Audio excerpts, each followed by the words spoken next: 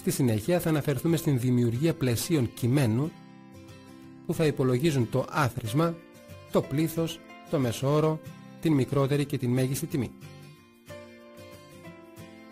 Η διαδικασία είναι ίδια ακριβώς με αυτήν που δείξαμε στις φόρμες.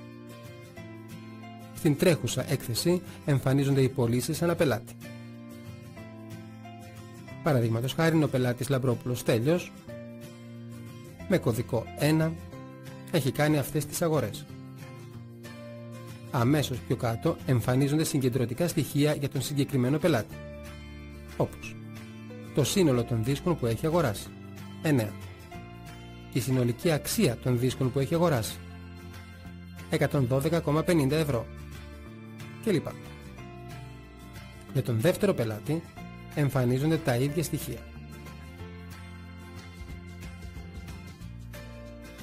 Για τον τρίτο και ούτω καθεξής. Μέχρι και τον τελευταίο. Μεταβαίνουμε στην τελευταία σελίδα.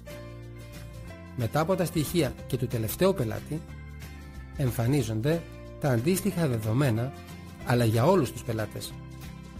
Έτσι, όλοι οι πελάτες μας έκαναν αγορές αξίας 6.496 ευρώ.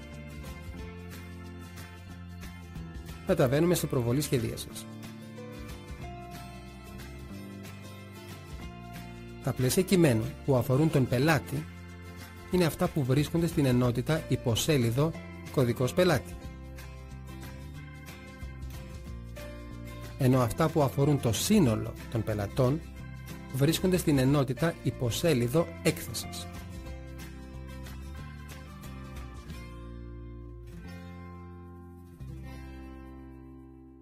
Για το πεδίο σύνολο ποσοτήτων, δηλαδή πόσους δίσκους αγόρασε ο πελάτης, η τιμή της ιδιότητας προέλευση στοιχείου ελέγχου είναι ίσον άθροισμα ποσότητα. Ενώ για το πεδίο σύνολο αξίας πελάτη, δηλαδή πόσο πλήρωσε συνολικά ο πελάτης, η τιμή της ιδιότητας είναι άθροισμα αξία. Όπως βλέπουμε, δεν υπάρχει διαφορά στην διαχείριση των εκφράσεων που περιέχουν συγκεντρωτικές συναρτήσεις σε σχέση με τις φόρμες. Προσοχή χρειάζεται στο εξής. Έχει σημασία σε ποια ενότητα βρίσκονται τα πλαίσια κειμένου. Παρατηρούμε ότι το πλαίσιο κειμένου σύνολο ποσοτήτων